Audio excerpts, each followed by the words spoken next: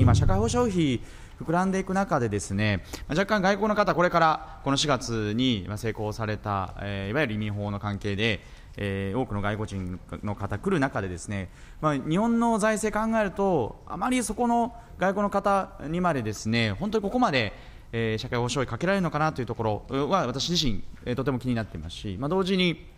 えー、と今申し上げたように増えていく中でさらに、ま、膨らみえ兼ねない、ところだと思います、まあ、さらに言うとですね不正なんていうのは絶対あってはいけないことだと思いますので、こうした分、きちんと確認できるのかどうか、えー、伺っていきたいんですけど、まず生活保護ですね、これ、もう何年も前から、えー、ずっと私、えー、聞いていっておりますが、正しい数字、伺いたいんですけど、景気も、